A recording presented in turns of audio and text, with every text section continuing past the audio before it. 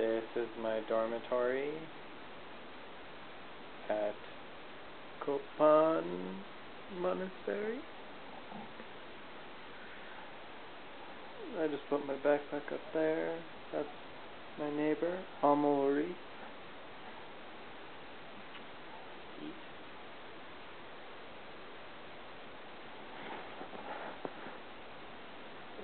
That's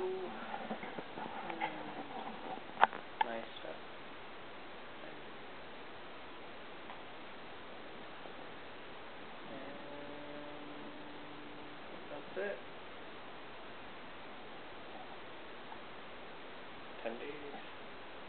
This is day two. Very nice place. Learning a